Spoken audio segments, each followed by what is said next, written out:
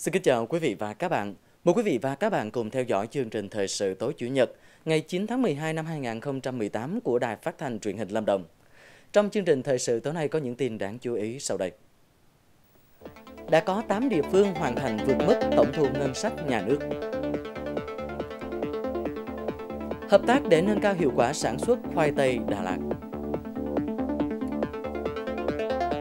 Chàng thanh niên nông thôn và khát vọng làm giàu bằng mô hình chăn nuôi kết hợp với trồng trọt mang lại hiệu quả kinh tế cao.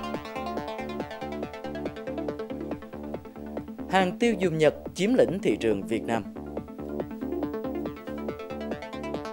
Nhiều nước châu Âu khuyến cáo công dân không đến Pháp. Cần làm gì với rác thải nhựa khi các mô hình chống rác thải nhựa đã được triển khai vẫn chưa phát huy hiệu quả tại Đà Lạt và các địa phương khác? Bây giờ là nội dung chi tiết. Thưa quý vị và các bạn, hiện nay đã có 8 địa phương hoàn thành và hoàn thành vượt mức dự toán tổng thu ngân sách nhà nước được giao. Trong đó có 4 địa phương đã hoàn thành dự toán tổng thu ngân sách nhà nước và thu thuế phí. Cục Thuế Lâm Đồng cho biết đến hết tháng 11 2018 đã có 8 địa phương hoàn thành và hoàn thành vượt mức dự toán tổng thu ngân sách nhà nước được giao là Đam Sơn 152%, Lâm Hà 150%, Di Linh 119%, Đà Oai 112%, Đơn Dương 111%, Đà Tẻ 107%, Đà Lạt 102% và Đức Trọng 100%. Trong đó có 4 địa phương đã hoàn thành dự toán tổng thu ngân sách nhà nước và thu thuế phí là Lâm Hà, Di Linh, Đà Oai, Đà Tẻ. Với kết quả này, Cục Thuế Lâm Đồng đã thông báo biểu dương toàn ngành đối với các tập thể, các chi cục thuế đã hoàn thành xuất sắc nhiệm vụ thu ngân sách nhà nước được giao năm 2018. Đồng thời đề nghị các đơn vị chưa hoàn thành cần tập trung nỗ lực hơn nữa để phấn đấu thu đạt và vượt kế hoạch trong tháng 12, góp phần cùng toàn ngành thuế Lâm Đồng thực hiện thắng lợi kế hoạch thu 6.750 tỷ đồng, trong đó thu thuế phí là 4.435 tỷ trong năm 2018. Dự án sản xuất tiêu thụ khoảng 80 tấn mật ong trên một năm sẽ được dán tem nhãn, tem truy xuất nguồn gốc trước khi đưa ra thị trường. Dự án được đưa vào danh mục phát triển chuỗi liên kết giá trị sản phẩm của ngành nông nghiệp Lâm Đồng. Ngành nông nghiệp Lâm Đồng vừa đưa dự án sản xuất tiêu thụ khoảng 80 tấn mật ong một năm trên vùng nông nghiệp huyện Đức Trọng và thành phố Bảo Lộc giai đoạn từ nay đến năm 2020. Theo đó, dự án được đưa vào danh mục phát triển chủ liên kết giá trị sản phẩm của ngành. Đây là dự án liên kết giữa công ty trách nhiệm hữu hạn mật ong Thái Dương đóng chân trên địa bàn Đức Trọng với 40 hộ sản xuất giống ong chúa nuôi ong lấy mật đạt tiêu chuẩn Việt Gáp, chế biến mật ong sạch theo quy trình HACCP. Tất cả sản phẩm từ nghề nuôi ong mật sẽ được dán tem nhãn, tem truy xuất nguồn gốc trước khi đưa ra thị trường. Ngoài ra, dự án sẽ xây dựng khu vực cho khách tham quan trải nghiệm về nghề nuôi ong mật của vùng Nam Tây Nguyên, đồng thời tổ chức đào tạo tập huấn chuyển giao kỹ thuật và nhân rộng mô hình phát triển nghề nuôi ong mật cho nông dân trên địa bàn các địa phương nói trên. Từ việc xây dựng 16 mô hình về sản xuất an toàn theo Việt Gáp kết hợp với quản lý dịch hại tổng hợp trên cây trồng các loại, đã giảm từ 4 đến 5 lần thuốc bảo vệ thực vật mỗi vụ. Năng suất các mô hình đều tương đương và cao hơn từ 5 đến 10% so với tập quán canh tác của nông dân trước đây. Ngành nông nghiệp Lâm Đồng cho biết, năm 2018, toàn tỉnh Lâm Đồng đã xây dựng 16 mô hình về sản xuất an toàn theo Việt Gáp. Bên cạnh đó, ngành cũng đã hỗ trợ nông dân quản lý dịch hại tổng hợp trên cà chua, khoai tây, cải bắp, ớt ngọt, xà lách, cà rốt, dâu tây, chè. Các mô hình áp dụng quy trình canh tác tổng hợp từ chọn giống, đất đai, bón phân, quản lý dịch hại tổng hợp, trong đó ưu tiên sử dụng các giải pháp thân thiện với môi trường như sử dụng bẫy bả, bảo vệ thiên địch, sử dụng thuốc bảo vệ thực vật sinh học, thảo mộc, Nhờ vậy đã giảm từ 4 đến 5 lần thuốc bảo vệ thực vật mỗi vụ, nhưng năng suất các mô hình đều tương đương và cao hơn từ 5 đến 10% so với tập quán canh tác của nông dân trước đây. Sản phẩm thu hoạch từ các mô hình đều được kiểm tra đảm bảo an toàn về dư lượng kim loại nặng, vi sinh vật và thuốc bảo vệ thực vật. Đến nay, huyện Bảo Lâm đã nhân rộng được 6.000 hecta diện tích sản xuất nông nghiệp ứng dụng công nghệ cao, đã góp phần nâng cao giá trị trên đơn vị diện tích canh tác, nâng cao thu nhập cho bà con nông dân. Hiện nay toàn huyện Bảo Lâm đã nhân rộng được 6.000 hecta diện tích sản xuất nông nghiệp ứng dụng công nghệ cao, gồm 3.850 hecta cà phê, 1.500 hecta chè, 200 hecta rau, hoa, 450 hecta cây quả và đang tiếp tục xây dựng hai vùng sản xuất nông nghiệp ứng dụng công nghệ cao với diện tích 300 hecta tại xã Lộc Đức, thị trấn Lộc Thắng và xã Lộc Quảng. Ngoài ra, một số mô hình đã mang lại hiệu quả kinh tế cao và tiếp tục được nhân rộng như mô hình trồng hoa, trồng ớt trong nhà lưới nhà kính tại xã Lộc Đức, Lộc An, mô hình trồng rau thủy canh, trồng bơ 034 và bơ giống ngoại tại xã Lộc Ngãi, Lộc Đức, xã Lộc Phú, thị trấn Lộc Thắng. Mô hình trồng sầu riêng tại xã Lộc Nam, Lộc Bảo, Bờ Lá. Mô hình nuôi chim yến tại Lộc Thành, Lộc Nam. chăn nuôi bò Kobe ở Tân Lạc, heo nhà lạnh ở Lộc Ngãi và nhiều mô hình chăn nuôi gà sinh học. Việc nhân rộng diện tích sản xuất nông nghiệp có ứng dụng công nghệ cao nêu trên tại huyện Bảo Lâm đã góp phần nâng cao giá trị trên đơn vị diện tích canh tác, nâng cao thu nhập cho bà con nông dân. Thưa quý vị và các bạn, khoai tây là một loại cây trồng thế mạnh của Đà Lạt và được người tiêu dùng ưa chuộng bởi những giá trị dinh dưỡng vượt trội mà khó có nơi nào có thể sản xuất được.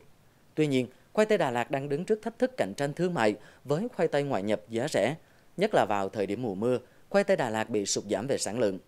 Vì vậy, các công tác nghiên cứu về giống và kỹ thuật canh tác khoai tây nhằm nâng cao hiệu quả sản xuất luôn được các ngành chức năng của trung ương và địa phương chú trọng thực hiện. Hiện nay, toàn tỉnh Lâm Đồng có gần 1.500 hecta đất sản xuất khoai tây, với năng suất bình quân đạt khoảng 20 tấn trên một hecta, tập trung chủ yếu tại thành phố Đà Lạt, huyện Đơn Dương và một số vùng phụ cận khác. Các giống khoai tây chủ lực được đưa vào canh tác như 07, BO3, Atlantis. Nông dân Lâm Đồng cũng được tiếp cận các giải pháp kỹ thuật nhằm sản xuất khoai tây đạt năng suất cao, giảm thiểu sâu bệnh hại. Tuy nhiên, vẫn còn đó nhiều nỗi băn khoăn mà một mình nông hộ chưa thể giải quyết được. Vì thời tiết cũng có, với lại à, cái thời vụ mà mình làm không không thích hợp. Ví dụ như là sớm quá hoặc là muộn quá thì thời tiết à, mưa nhiều á là xuống cái giống này rất là khó khăn. Mà lúc thu hoạch mưa nhiều cũng rất là khó khăn. Với lại thứ hai nữa là nó còn tùy thuộc vào thị trường. Đấy, cái giá của thị trường nó thấp là bà con thu hoạch cũng rất là chẳng ngại giống má bán khó này rồi rồi à, tới khoai thịt bán khó Đứng trước thực tế đó, ngành chức năng đã có nhiều giải pháp hợp tác nghiên cứu, chọn tạo những giống khoai tây chất lượng cao, có khả năng chống chịu sâu bệnh và nâng cao năng suất canh tác. Một trong những hoạt động đó là chương trình sáng kiến hợp tác về nông nghiệp và cây lương thực giữa Viện Khoa học Nông nghiệp Việt Nam và Tổng cục Phát triển Nông thôn Hàn Quốc nhằm sản xuất khoai tây và phòng trừ dịch hại tổng hợp trên cây trồng, được triển khai tại Trung tâm Khoai tây rau và hoa Đà Lạt. Tại đây, trung tâm đã khảo nghiệm thành công giống khoai thức bát, được nhập khẩu từ Hàn Quốc. Qua đó cho thấy giống khoai tây này có thời gian sinh trưởng khoảng 100 ngày, chất lượng củ tốt, năng suất đạt khoảng hơn 27 tấn trên một hecta, cao hơn giống khoai tây Atlantis gần 16%, hiệu quả kinh tế cao hơn khoảng 35%, lợi nhuận kinh tế đạt khoảng 100 triệu đồng trên một hecta. Chúng tôi đã ứng dụng các công nghệ về kiểm tra nhanh à, một số các loại bệnh virus, à, bệnh à, héo sạch vi khuẩn trên khoai tây. À, bên cạnh đó thì chúng tôi cũng ứng dụng một số cái công nghệ à, tiên tiến từ Hàn Quốc để tạo ra được à, cái củ giống à, sạch bệnh virus. Chúng tôi hy vọng rằng là trong à, thời gian sắp tới, thời gian sớm nhất chúng tôi sẽ công nhận được một đến hai giống khoai tây có khả năng kháng bệnh khả để tổ chức sản xuất à, trong cái điều kiện mùa mưa với cái áp lực bệnh cao tại vùng Đà Lạt Lâm Đồng để nhằm cái việc là chúng ta có được cái à, khoai tây à, có cái nguồn khoai tây để cung cấp cho thị trường trong cái điều kiện mùa mưa. Song song với các nghiên cứu trong nước thì thông qua các chương trình hợp tác với nước ngoài, Lâm Đồng cũng đã nâng cao được nhiều kiến thức, kinh nghiệm trong sản xuất khoai tây. Các chuyên gia nông nghiệp đến từ Hàn Quốc đã chia sẻ các kinh nghiệm về chọn giống, nhân giống và chăm sóc khoai tây sạch bệnh, cần kiểm soát rệp vần truyền virus một cách thích hợp trong giống khoai tây. Tại Hàn Quốc, đạt sản lượng khoai tây từ 27 đến 36 tấn trên một hecta, trong lúc các nước phát triển ở châu Âu chỉ đạt 15 đến 20 tấn do sử dụng giống chưa đạt chuẩn. Vì vậy, vấn đề sử dụng nguồn khoai tây giống sạch bệnh có ý nghĩa rất quan trọng và cần triển khai áp dụng. Khoai tây là một trong bốn loại cây lương thực của thế giới, có chất dinh dưỡng cao và đạt năng suất cao trên một đơn vị diện tích. Tuy nhiên, đây là loại cây trồng dễ bị nhiễm virus, nhưng nó không bị nhiễm ở giai đoạn phát triển dưới 0,2 đến 0,5 mm. Và để kiểm soát virus trên cây khoai tây giống, chúng ta cần kiểm soát rệp rừng, đây là loại vật trung gian truyền virus. Nếu kiểm soát tốt cây giống cà chua không nhiễm virus, chúng ta sẽ nâng cao năng suất khoai tây lên khoảng 30 tấn một hectare. Sản phẩm khoai tây từ Lâm Đồng được các công ty như Orion, PepsiCo thu mua chế biến, còn lại tiêu thụ tại địa phương, các tỉnh lân cận như thành phố Hồ Chí Minh, Đồng Nai. Khoai tây Đà Lạt luôn được người tiêu dùng đánh giá cao và là cây trồng đem lại giá trị kinh tế cho nhiều nông hộ. Cũng là loại nông sản được xây dựng thương hiệu gắn với Đà Lạt. Dù còn có những thời điểm khoai tây Đà Lạt gặp những khó khăn nhất định về điều kiện sản xuất, do mưa kéo dài, sâu bệnh hại và cạnh tranh với khoai tây ngoại nhập, nhưng khoai tây Đà Lạt vẫn khẳng định được vị thế của mình trên thị trường nhờ các giải pháp canh tác bền vững đã và đang được áp dụng vào sản xuất.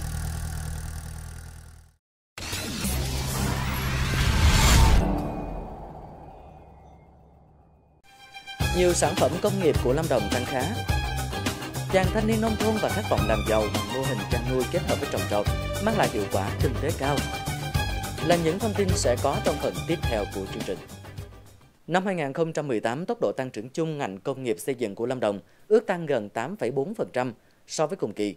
Trong đó, nhiều sản phẩm công nghiệp của Lâm Đồng tăng khá. Năm 2018, tốc độ tăng trưởng chung ngành công nghiệp xây dựng Lâm Đồng ước tăng 8,4% so với cùng kỳ. Trong đó, ngành công nghiệp tăng hơn 8,3%, xây dựng tăng gần 8,55%. Một số sản phẩm công nghiệp chủ yếu tăng khá như hạt điều chế biến tăng hơn 9%, rau cấp đông tăng 9,2%, sợi tơ tằm các loại tăng 12,3%, phân bón NPK tăng gần 15%, bê tông tươi tăng trên 32%, sản phẩm alumin tăng 13,7% và điện thương phẩm tăng 10%. Sự khởi sắc của ngành công nghiệp trong năm qua là tín hiệu đáng mừng, tạo cơ hội để các doanh nghiệp đẩy mạnh chiến lược kinh doanh, tạo thương hiệu sản phẩm tiêu thụ trong nước và xuất khẩu. Ngoài ra còn chủ động tìm kiếm thị trường, tiếp cận tốt các chính sách ưu đãi của chính phủ và địa phương để tái cơ cấu sản xuất sản phẩm, tăng đầu tư mở rộng quy mô sản xuất. Đặc biệt là hoạt động đầu tư xây dựng từ các nguồn vốn trong nước, nước ngoài và của người dân có bước phát triển khá. Nhiều dự án đầu tư ngoài ngân sách tháo gỡ được khó khăn.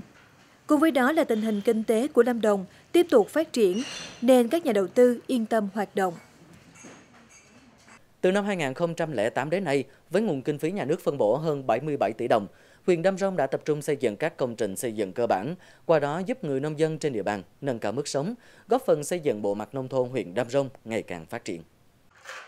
Theo Ủy ban dân huyện Đam Rông, từ chương trình 135 trong 10 năm qua 2008-2018, với nguồn vốn nhà nước phân bổ hơn 77 tỷ đồng, huyện Đam Rông đã xây dựng 120 công trình cho 8 xã, xây dựng 57 công trình mới gồm 77 công trình đường giao thông nông thôn, 33 công trình nhà sinh hoạt cộng đồng, 6 công trình thủy lợi, 3 công trình trường học và 1 công trình y tế và duy tu bảo dưỡng cho 15 công trình gồm 14 công trình đường giao thông nông thôn và một công trình y tế. Ngoài ra, từ nguồn kinh phí 135, huyện Nam Rông đã hỗ trợ phát triển sản xuất, hỗ trợ phân bón, giống cây trồng, vật nuôi và mua sắm máy móc phục vụ sản xuất với kinh phí là hơn 10 tỷ đồng cho hơn 2.500 lượt hộ nghèo được thụ hưởng. Qua đó, giúp cho người nông dân trên địa bàn huyện thu nhập ổn định và nâng cao mức sống, góp phần xây dựng bộ mặt nông thôn huyện Nam Rông ngày càng phát triển. Thưa quý vị và các bạn, đa số thanh niên nông thôn hiện nay còn gặp rất nhiều khó khăn để phát triển kinh tế khi vừa thiếu vốn lại không có kiến thức khoa học kỹ thuật. Tuy nhiên, bằng sự cố gắng của bản thân, thanh niên Lưu Đình Huy đã phát huy thế mạnh của bản thân và gia đình để phát triển kinh tế, vươn lên làm giàu chính đáng bằng mô hình chăn nuôi kết hợp với trồng trọt mang lại hiệu quả kinh tế cao. Ghi nhận của phóng viên thời sự về gương điển hình này. Sau khi tốt nghiệp trung học phổ thông, Lưu Đình Huy ở thôn 4 xã Lộc An, huyện Bảo Lâm quyết định ở nhà để tìm hướng phát triển kinh tế trên chính thửa đất của gia đình. Ngoài 2 hecta trồng cà phê làm nguồn thu nhập chính, anh Huy đã nghiên cứu và học hỏi các mô hình chăn nuôi phù hợp với nhu cầu thực tiễn. Và rồi anh đã nhận ra việc nuôi dê sinh sản là bước đi đem lại hiệu quả kinh tế bởi nguồn vốn đầu tư ban đầu ít, công chăm sóc lại đơn giản và tỷ lệ mắc bệnh trên đàn gia súc không cao. Chính điều này nên năm 2015, anh quyết định gắn bó với mô hình nuôi dê sinh sản. Từ những cặp dê ban đầu nuôi thử nghiệm để làm giống, đến nay đã phát triển quy mô đàn lên đến gần 30 con. Anh Huy cũng chính là người tiên phong cho mô hình nuôi dê sinh sản kết hợp với trồng trọt tại địa phương. Theo tìm hiểu của em thì em thấy thị trường à, của nuôi dê và ở trên thị trường thì cũng phát triển rất là mạnh. À, hiện tại như bây giờ thì à, về dê người ta chăn nuôi rất là nhiều, cho nên là vì thị trường phát triển nhiều cho nên họ à, nuôi cũng cực kỳ nhiều. À, đầu ra thì chắc chắn là nó sẽ ổn định và nói chung là à, cái cách nuôi thì rất là dễ Vì thiếu kinh nghiệm nên ban đầu cũng gặp khó khăn trong việc chuyển đổi cây trồng và vật nuôi. Nhưng bằng sự cần cù, chăm học hỏi, anh Lưu Đình Huy đã linh hoạt và sáng tạo trong cách làm của mình khi trồng sen, cà phê với cây gòn và cây hồ tiêu. Bởi lá gòn vừa làm thức ăn chính cho dê, vừa làm trụ cho cây tiêu phát triển. Từ nguồn thu nhập của việc trồng tiêu và nuôi dê, anh Huy tiếp tục đầu tư mở rộng diện tích cà phê hiện đang cho năng suất cao với khoảng 7 tấn một hecta. Tiền à, à cà phê hàng năm thì mình có thể mình lấy để mà đổi mới cái giống à, cà thêm nhiều thêm ví dụ như tất cả các loại giống à, cà à, ghép chẳng hạn và ví dụ như một vườn như tụi em là rất là nhiều loại Lộc An, huyện Bảo Lâm là xã có diện tích trồng cà phê lớn và là nguồn thu nhập chính của nhiều hộ gia đình. Tuy nhiên, cà phê chỉ thu hoạch một vụ trong năm mà chi phí đầu tư khá cao. Do vậy, với nhiệt huyết muốn làm giàu cho bản thân, nên nhiều thanh niên đã luôn tìm tòi học hỏi những cách làm hay để làm giàu trên chính thửa đất của mình. Và mô hình trồng sen cây kết hợp chăn nuôi của anh Huy đã minh chứng cho điều đó. Không chỉ làm kinh tế giỏi, Lưu Đình Huy còn là bí thư chi đoàn thôn năng nổ và nhiệt tình với phong trào đoàn tại địa phương. Ngoài việc ờ, công việc phát triển ờ, kinh tế gia đình và bản thân cho đồng chí Lưu Đình Huy, thì đồng chí Lưu Huy là một trong những người bí thư rất là năng động, không những ở phong trào ở địa phương, ở chi đoàn thôn, đồng chí còn tham gia những cái chương trình ở huyện, đặc biệt là chương trình thiện nguyện, chương trình phong chương trình ờ, thể dục, thể thao, văn hóa văn nghệ thì đồng chí Huy là luôn là người đi đầu ở trong ờ, các chi đoàn ờ, thôn. Ở tuổi 30, không ngày khó ngày khổ, anh Lưu Đình Huy bước đầu đã gặt hái được những kết quả khả quan từ mô hình phát triển kinh tế của mình. Mặc dù kinh nghiệm chưa nhiều, song khát vọng làm giàu của chàng trai trẻ này đã tiếp thêm động lực cho nhiều thanh niên đang muốn làm giàu trên mảnh đất quê hương Lộc An. Tiếp tục chương trình là những tin vắn đáng chú ý trên các lĩnh vực khác. Năm 2015, phòng xét nghiệm HIV được Bộ Y tế cấp giấy chứng nhận phòng xét nghiệm HIV, được phép khẳng định các kết quả xét nghiệm HIV thuộc Trung tâm Phòng chống HIVS Lâm Đồng. Sau hơn 3 năm đi vào hoạt động, phòng xét nghiệm khẳng định HIV duy nhất của tỉnh Lâm Đồng có chức năng thực hiện sàng lọc HIV cho các đối tượng nguy cơ cao đến với các phòng tư vấn xét nghiệm tự nguyện, thực hiện tư vấn xét nghiệm tự nguyện tại cộng đồng có các đối tượng nghi nhiễm HIV. Theo thống kê của Trung tâm Phòng chống HIVS Lâm Đồng, từ đầu năm đến nay, phòng xét nghiệm khẳng định HIV của tỉnh đã thực hiện hơn 40.000 mẫu xét nghiệm, phát hiện 86 mẫu dương tính với HIV. Từ phòng xét nghiệm khẳng định HIV tạo điều kiện thuận lợi cho đội ngũ y bác sĩ thực hiện công tác xét nghiệm, phát hiện điều trị và phòng ngừa bệnh kịp thời. Trong năm 2018, toàn huyện Lâm Hà đã triển khai được trên 800 mô hình dân vận khéo trên các lĩnh vực đời sống xã hội. Cùng với đó, cuộc vận động toàn dân đoàn kết xây dựng nông thôn mới, đô thị văn minh, thu hút sự tham gia của đông đảo các tầng lớp nhân dân. Cuộc vận động quỹ ủng hộ đồng bào dân tộc thiểu số nghèo, ngày vì người nghèo đạt kết quả tốt, qua đó giải ngân quay vòng nguồn vốn giúp cho nhiều hộ thoát nghèo vươn lên làm giàu chính đáng. Các phong trào nông dân sản xuất kinh doanh giỏi, đoàn kết giúp nhau giảm nghèo, làm giàu chính đáng, năm xung kích phát triển kinh tế xã hội và bảo vệ tổ quốc, đồng hành với thanh niên lập nghiệp, phụ nữ tích cực học tập, lao động sáng tạo, xây dựng gia đình hạnh phúc đã được triển khai tích cực. Từ đó huy động mọi nguồn lực của các tầng lớp nhân dân để thực hiện chương trình mục tiêu quốc gia xây dựng nông thôn mới, quan tâm phát triển nông nghiệp, nông dân, nông thôn tại huyện Lâm Hà. Quận Di Linh có tổng số 27 trường mầm non, 33 trường tiểu học và 22 trường trong cơ sở, nhằm tổ chức lại các cơ sở giáo dục công lập trên địa bàn huyện theo hướng tinh gọn hiệu quả. Mới đây, Ủy ban nhân huyện Di Linh đã quyết định sát nhập trường tiểu học Tân Lâm 1 và trường tiểu học Tân Lâm 2 thành trường tiểu học Tân Lâm. Trường tiểu học Đinh Trang Thượng và trường trong cơ sở Đinh Trang Thượng sát nhập thành trường tiểu học và trong cơ sở Đinh Trang Thượng. Sát nhập trường tiểu học Gia Bắc với trường trong cơ sở Gia Bắc thành trường tiểu học và trong cơ sở Gia Bắc. Trên cơ sở sát nhập này sẽ tạo điều kiện thuận lợi để phòng giáo dục đào tạo huyện Di Linh giám sát quản lý chất lượng giáo dục một cách tốt nhất, giúp học sinh được học tập trong môi trường thuận lợi, rút ngắn khoảng cách đi lại.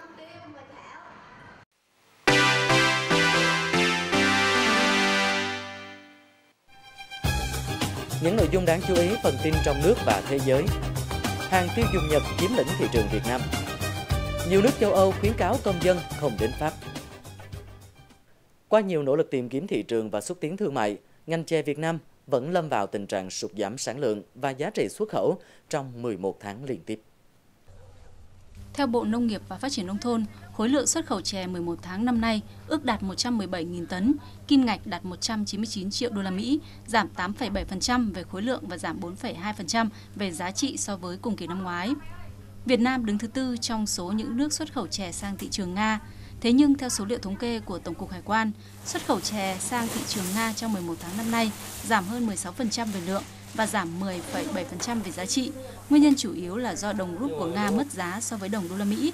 Thêm vào đó, các doanh nghiệp cho biết chè Việt Nam chưa xây dựng được thương hiệu tại thị trường này. Tương tự, xuất khẩu chè sang các thị trường Nhật và EU cũng chững lại. Cơ quan chức năng nhận định, ngành chè và các doanh nghiệp xuất khẩu cần nâng cao chất lượng, chú trọng tạo dựng hình ảnh thương hiệu tại các thị trường lớn để thay đổi nhìn nhận của người tiêu dùng về chè Việt Nam. Những năm gần đây, các mặt hàng nhập khẩu từ Nhật Bản luôn được người tiêu dùng Việt Nam ưa chuộng bởi chất lượng cũng như mẫu mã phù hợp với người châu Á. Chính vì vậy, các sản phẩm Nhật đang càng chiếm lĩnh thị trường Việt và có xu hướng gia tăng trong thời gian tới. Tuy nhiên, để mua được những mặt hàng đúng tiêu chuẩn, người tiêu dùng cần chú ý đến nguồn gốc xuất xứ của sản phẩm. Hàng Nhật đã nhanh chóng chiếm được tỷ trọng nhất định trong cơ cấu hàng hóa tiêu dùng của người Việt bởi chất lượng, giá cả và sự hài lòng khi sử dụng. Có mình thường xuyên sử dụng à, các cái sản phẩm của Nhật. À, tại vì mình thứ nhất là mẫu mã nó đẹp, thứ hai là cái chất lượng tiêu chuẩn của nó còn cao hơn so với những cái sản phẩm châu Âu nên mình thường là dùng với cả đồ của Nhật thì nó phù hợp với cả châu Á hơn so với cái đồ châu Âu. Rất thích sử dụng các sản phẩm của Nhật À, cũng à, hay thường xuyên mua các sản phẩm của Nhật cho gia đình dùng. À, mình hay mua các sản phẩm về, về thực phẩm chức năng cho gia đình cũng như là các cái đồ điện gia dụng ấy thì à, gia đình mình thì rất hay sử dụng các sản phẩm của Nhật. Nắm bắt được tâm lý người tiêu dùng, ngày càng có nhiều người bán các sản phẩm Nhật từ online tới mở cửa hàng. Chỉ cần một thao tác trên bàn phím, hàng nghìn trang bán hàng Nhật hiện ra, từ hàng mỹ phẩm, thực phẩm gia dụng cho đến các mặt hàng tiêu dùng. Những cái mặt hàng này của mình có phải là hàng ờ, Nhật chuẩn xịn không chị? Hàng nhà chị là hàng Nhật xịn em, hàng nội địa chính hãng đấy. Nói chung là hàng xịn và đảm bảo chất lượng em. Nhiều người thích dùng hàng Nhật lắm, mà đặc biệt là hàng Nhật nội địa. Em yên tâm mua hàng bên chị là hàng Nhật chuẩn.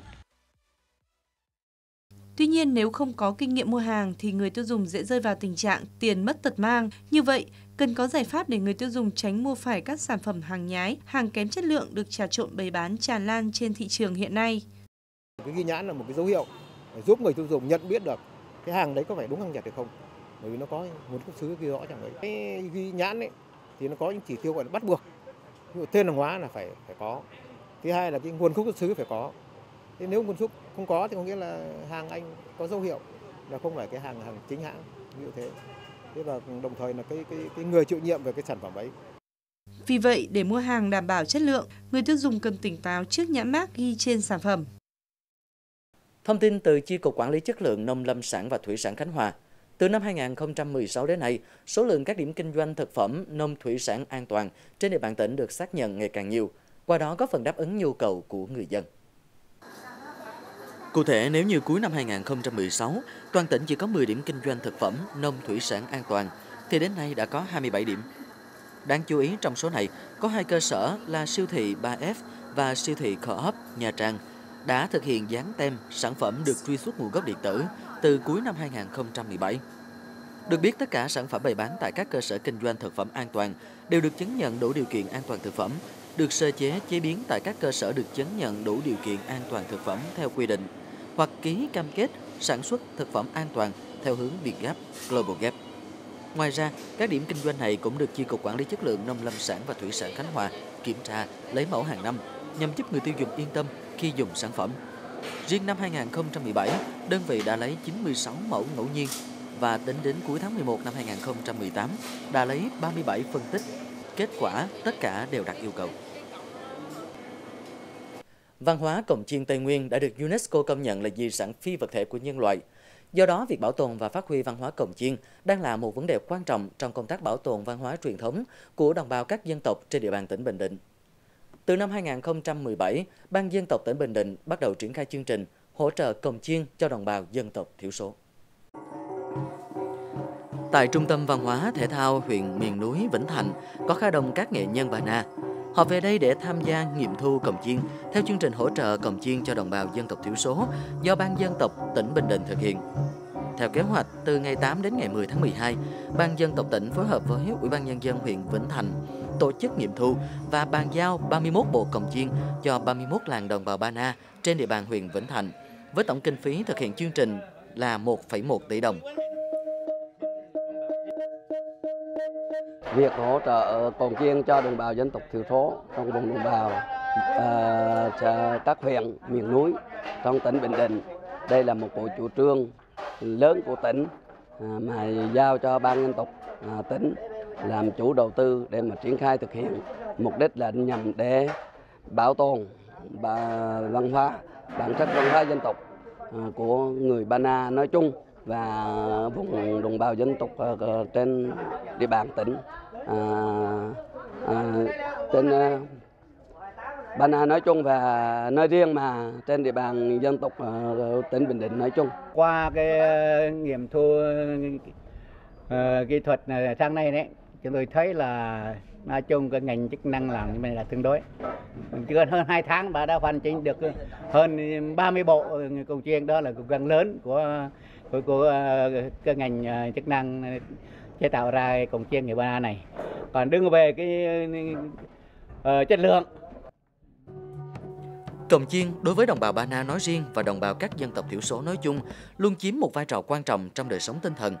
Vì vậy, việc hỗ trợ cồng chiên cho các làng đồng bào dân tộc thiểu số của tỉnh Bình Định là một chương trình mang nhiều ý nghĩa thiết thực, thể hiện sự quan tâm của Đảng, Nhà nước đối với việc bảo tồn và phát huy văn hóa truyền thống của đồng bào dân tộc thiểu số ở huyện miền núi Vĩnh Thạnh. Nói chung là là một trong những người nghiên cứu văn hóa Ba Na thì thấy là qua đi khảo sát thực tế các làng hiện nay là phần lớn là các bộ cồng chiêng của người Ba Na là vừa là thất thoát vừa là mai một đồng thời có, có những cái bộ có những làng hiện nay nó cũng hư hỏng đi nhiều. Việc nhà nước quan tâm đến cung cấp các làng của đồng bào Ba Na uh, ờ, của ờ, uh, Ba Na Krem nói riêng cộng đồng người Ba Na nói chung theo Ban dân tộc tỉnh Bình Định dự kiến sau khi hoàn thành việc trao tặng cồng chiên, tỉnh sẽ tổ chức lễ hội mừng cồng chiên mới.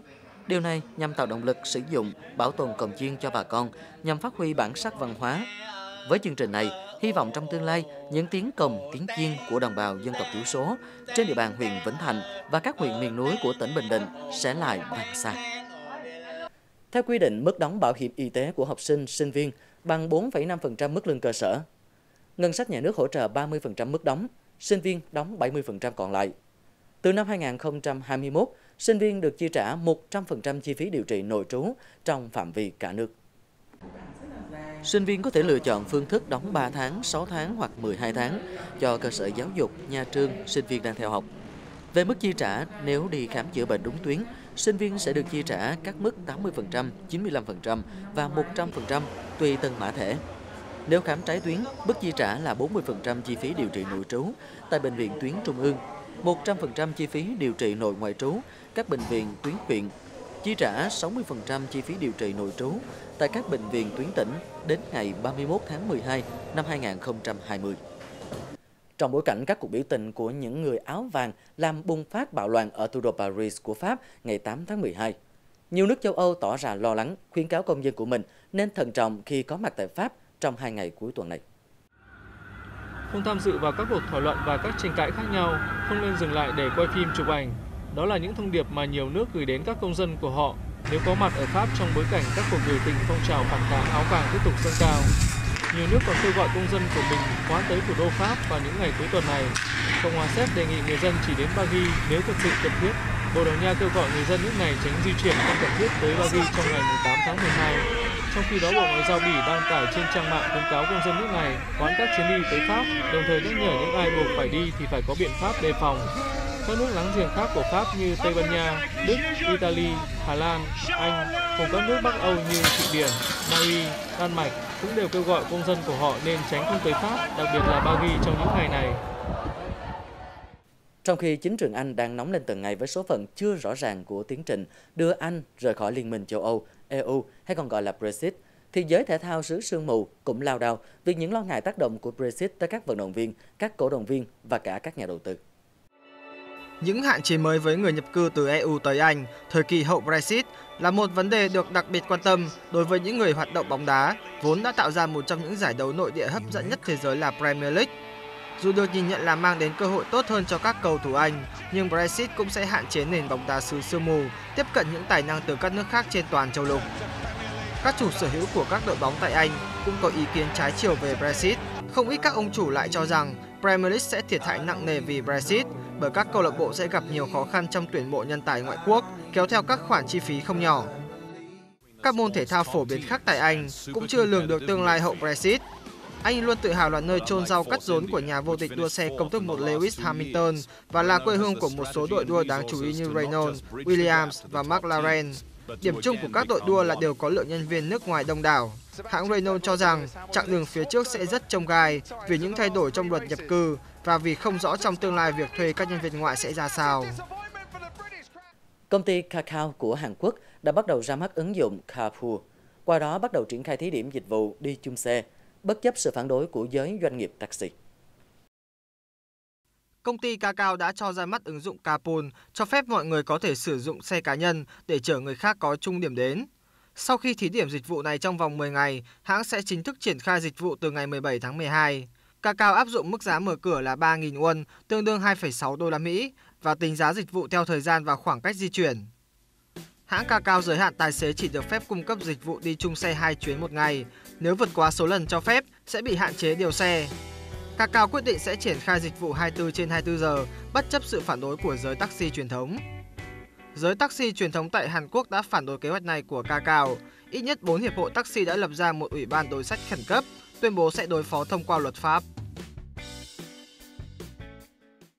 Theo cảnh báo từ Cục Thuế Nội địa Mỹ, thời điểm cuối năm là mùa khuyến mãi cùng các cơ hội vàng cho những tin tặc. Người dân được khuyến cáo cần cảnh giác trước nguy cơ bị đánh cắp thông tin cá nhân khi thanh toán trực tuyến, đặc biệt trong mùa cao điểm mua sắm cuối năm sắp tới. Cơ quan này khuyên người tiêu dùng cẩn trọng với các thông tin nhạy cảm như tài khoản ngân hàng, số an sinh xã hội. Người dùng cũng cần tránh truy cập các nguồn wifi công cộng không được đảm bảo, chỉ mua sắm ở những trang web bán hàng tin cậy.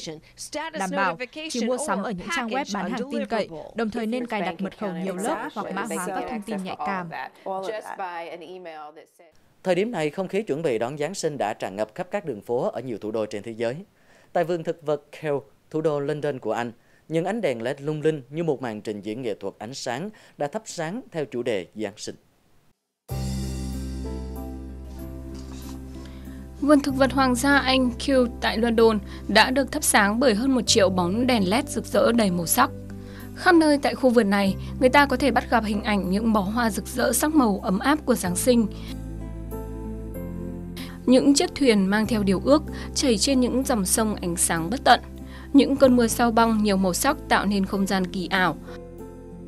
Đặc biệt, các nghệ nhân đã tạo ra một con đường dài 2 km với ánh đèn vàng và chiều sâu hun hút.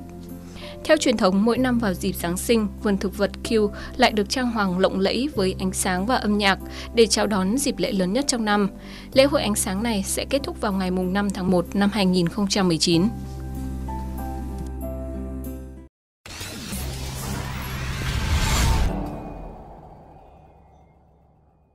Cần làm gì với rác thải nhựa khi các mô hình chống rác thải nhựa đã được triển khai nhưng vẫn chưa phát huy hiệu quả tại Đà Lạt và các địa phương khác? Là thông tin cuối của chương trình thời sự tối nay. Thưa quý vị và các bạn, rác thải nhựa và xử lý rác thải nhựa là vấn đề nan giải đối với thành phố Đà Lạt và các địa phương.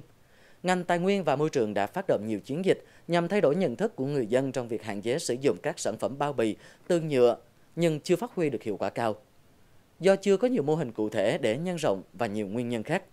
Ghi nhận của phóng viên thời sự. Cứ khoảng 17 giờ hàng ngày, khắp các khu phố, người dân bắt đầu đi bỏ rác theo quy định. Tất cả các loại rác được vứt đi nhưng không được phân loại. Có mặt nhiều nhất là các rác thải từ bao bì, hộp ni lông sử dụng một lần.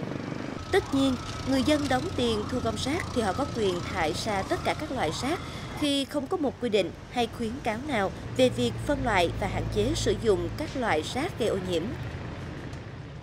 Có nghe TV nói nhưng mà hiện giờ ở đây thấy chưa áp dụng, không cái chỗ nào bán cái đồ dùng thay thế túi ni lông. Đấy. Mà đi siêu thị cũng toàn dùng túi ni lông. Giữa năm 2018, ngành môi trường đã phát động phong trào chống rác thải nhựa trên địa bàn với khẩu hiệu hành động nói không với sản phẩm nhựa sử dụng một lần tại các đơn vị và cộng đồng dân cư về nguy cơ ô nhiễm từ rác thải nhựa. từ đó từ bỏ thói quen sử dụng túi ni lông và các sản phẩm nhựa khó phân hủy. Tuy nhiên, sau nửa năm phát động chiến dịch, mọi việc vẫn diễn ra như cũ. Doanh thu của các cửa hàng kinh doanh các sản phẩm từ nhựa không hề giảm sút.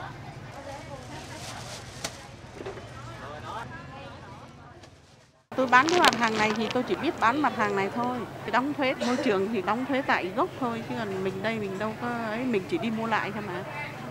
Mình đâu có phải sản xuất ra đâu.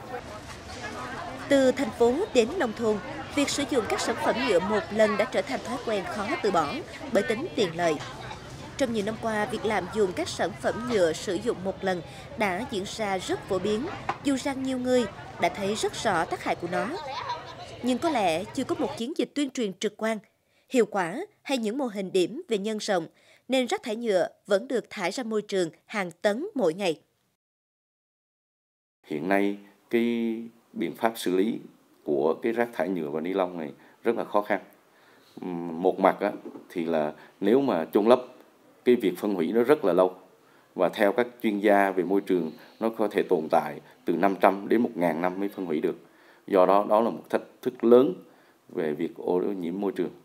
Nếu xử lý bằng ờ, công nghệ đốt chẳng hạn thì cái lượng khí thải phát ra môi trường cũng rất lớn và ảnh hưởng đến môi trường. Hiện nay cái việc mà việc sử dụng bao bì túi ni lông và các sản phẩm nhựa của ờ, của người cộng đồng dân cư thì nó đã ừ, đã thành thói quen và muốn thay đổi thì phải có thời gian và uh, tuyên truyền vận động và có sản phẩm thay thế thân thiện với môi trường để ờ, người dân ờ, ờ, từ từ họ sẽ thay đổi và nhận thức ngày càng cao để mà cùng nhau chung tay bảo vệ môi trường. Phân loại rác từ nguồn giúp cho việc xử lý và tái chế các sản phẩm từ nhựa sẽ dễ dàng hơn và tiết kiệm chi phí lớn.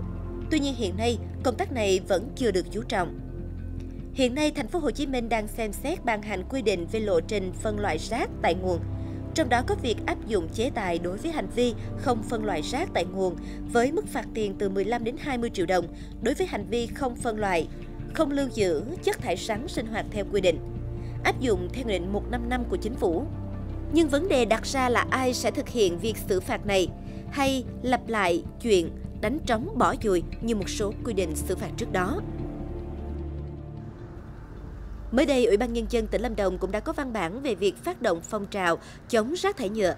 Theo đó, yêu cầu các sở ban ngành địa phương, các đoàn thể liên quan trong tỉnh đẩy mạnh công tác tuyên truyền, nâng cao nhận thức trong cơ quan và cộng đồng, thực hiện các chiến dịch truyền thông về nguy cơ ô nhiễm nhựa và ni lông nhằm thay đổi, tiến tới bỏ thói quen sử dụng túi ni lông, sản phẩm nhựa khó phân hủy, sử dụng một lần huy động sự tham gia của cộng đồng trong thu gom, phân loại các sản phẩm đã sử dụng làm từ nhựa, bao bì, túi ni lông và vận chuyển đến nơi tái chế, xử lý theo quy định. Tuy nhiên, hiệu quả của phong trào này vẫn còn ở phía trước. Rác thải nói chung và rác thải nhựa vẫn là chuyện biết rồi nói mãi. Nhưng khi nào người dân còn thờ ơ với môi trường, còn tâm lý cha chung không ai khóc, thì vấn đề khủng hoảng rác thải và xử lý rác thải sẽ xảy ra không bao lâu nữa khi các bãi rác quá tải, công nghệ và công suất xử lý rác thải không đáp ứng được nhu cầu thực tế. Đây là vấn đề không thể xem nhẹ trong cuộc sống mỗi ngày của cộng đồng, vì nó sẽ tác động trực tiếp đến đời sống sinh hoạt của mọi người, mọi nhà, theo hướng tiêu cực nếu chúng ta không nâng cao ý thức bảo vệ môi trường từ hôm nay. Chương trình thời sự tối nay của Đài Phát thanh Truyền hình Lâm Đồng xin được khép lại tại đây. Cảm ơn quý vị và các bạn đã quan tâm theo dõi. Xin kính chào tạm biệt và hẹn gặp lại.